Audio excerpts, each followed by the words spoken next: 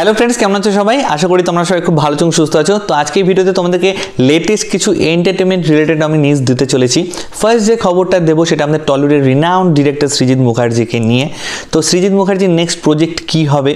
সেটা কোনো সিনেমা হবে নাকি এখন নতুন কোনো ওয়েব সিরিজ হবে? সেটা নিয়ে সবসময় আমাদের মধ্যে কৌতূহল তো কাজ করেই থাকে। তো তার আপকামিং প্রজেক্ট সম্পর্কে একটা তথ্য পেয়েছি, ভাবলাম তোমাদের সাথেও শেয়ার করি। তো অনেকেই বলছে সৃজিৎ মুখার্জির সাথে নাকি এসবিএফের এখন আর আগের মতন বনিবনা নেই।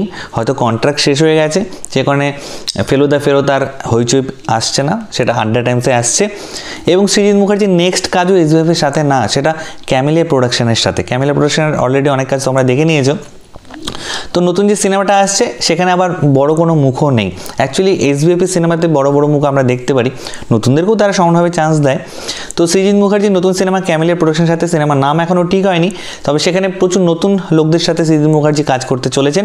তবে কিছু চেনা পরিচিত নাম আমাদের আছে, যেরকম সুভাষিস মুখার্জি, লাবণী সরকার, গৌরব চ্যাটার্জি, এরা বিভিন্ন রোলে থাকবেন। এবং সিনেমাটার গল্প যদি আমাকে বলতে হয়, গল্পটা বেশ ইন্টারেস্টিং একটা নর্মাল লোক, তার লাইফের বিভিন্ন ঘটনা নাকি উত্তম কুমারের সিনেমার বিভিন্ন গল্পের সাথে ম্যাচ করে যায়। মানে তার সিনেমার বিভিন্ন সিন থেকে সাদৃশ্য মানে তার লাইফে পাওয়া যাচ্ছে।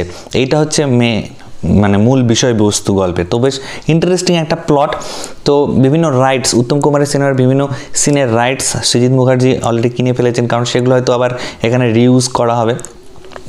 এবং যে অ্যাক্টর অ্যাক্ট্রেসের নাম নিলাম লাবণী সরকার শুভাশিস মুখার্জি, গৌরব চ্যাটার্জি নো ডাউট এরা প্রত্যেকেই ভালো এবং নতুনদের সাথে সৃজিত মুখার্জি কাজ করছেন, এটাও আমার বেশ ভালো লাগল।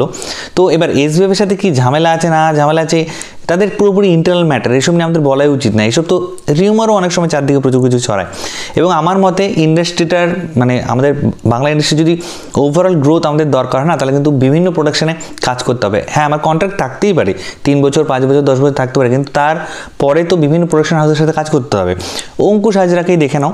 এইচবিএর সাথে প্রচুর সিনেমা করল। এখন তো প্রচুর নতুন নতুন হাউসের সাথে কাজ করছে। এবং নতুন হাউসদেরও এটা দরকার। তাদেরকেও তো সাপোর্ট করতে হবে, তাই না? এবং এমন তো হতেই পারে যে তথাকথিত বা ওয়েল এস্টাবলিশ কোনো প্রোডাকশন হাউসের কাজের থেকে নতুন কোনো হাউসের কাজ হয়তো প্রচুর মানে ভালো হয়ে গেল। এটা তো হতেই পারে। তো এটা ছিল আমার ফার্স্ট খবর। এবার সেকেন্ড যে খবরটা দেবো সেটা বলিউডের একটা নতুন সিনেমা নিয়ে। সিনেমাটার অলরেডি ফার্স্ট লুক পোস্টার বেরিয়ে গেছে। সিনেমাটার নাম হলো কাগজ। সেখানে আমরা উল্টো অবস্থায় দাঁড়িয়ে থাকা একজনকে দেখতে পাচ্ছি। তিনি আর কেউ নন, তিনি আমাদের সবার ফেভারিট পঙ্কজ ত্রিপাঠী। তাকে নিয়ে নতুন করে বলার কিছু নেই। মির্জাপুর হোক বা আমাদের লুডো হোক, সেখানে তিনি যা পারফরমেন্স দিয়েছেন মানে তিনি নিজেকে প্রুফ করে দিয়েছেন যে তিনি কি জিনিস। তো এই কাগজ সিনেমায় তিনি মেইন লিড অ্যাক্টর এবং সিনেমার ডিরেক্টর নানাদার দেন সতীশ কৌশিক, আমার পছন্দের একজন ডিরেক্টর এবং সিনেমাটা প্রেজেন্ট করছে সলমান খান ফিল্মস তারাই আর কি প্রডিউসারও তো এই সিনেমার মূল বিষয়বস্তু হচ্ছে যে, সিনেমার নাম থেকেই বুঝতে পারছ, কাগজ। মানে কাগজ বা পেপার এখানে বেশ একটা ইম্পর্টেন্ট রোল প্লে করতে চলেছে। সেটা হলো যে এখানে পঙ্কজ ত্রিপাঠী একজন ফার্মার সাধারণ কৃষক, গরিব কৃষক। কিন্তু তিনি এখনও বেঁচে আছেন, কিন্তু সরকারের কাগজে, সরকারের যে লিস্ট আছে, সেখানে নাকি তিনি মৃত ব্যক্তিদের মানে যে লিস্ট সেখানে তার নাম। মানে বোঝাতে পারলাম আমি, মানুষটা বেঁচে আছে, কিন্তু সরকারের খাতায় সে মৃত। তো বেশ ইন্টারেস্টিং একটা প্লট আমার মনে হয় না এই ধরনের কোনো সিনেমা এর আগে আমি দেখেছি। তো আগামী সেভেন্থ জানুয়ারি জি ফাইভ এই সিনেমাটা আসছে। তোমরা অবশ্যই প্লিজ দেখো। খুব তাড়াতাড়ি হয়তো টিজার ট্রেলার আমরা দেখতে পারব। তো আমার মানে এই ধরনের ছোট বাজেটের সিনেমাগুলো না আমার বেশ ভালো লাগে। দেখে বেশ আলাদা একটা ফিল পাই, মজা পাই আমি। তোমরাও প্লিজ অবশ্যই দেখো কিন্তু। এটা ছিল আমার সেকেন্ড খবর। থার্ড যে খবরটা দেবো, সেখানে দেখো আমি সামনে লিখেছি, আবার আসছে। এখানে আবার আসছে বলতে শাহিদ কাপুর শাহিদ কাপুর আবার আসছে কিন্তু আবার আসছে রিমেক সিনেমা নিয়ে।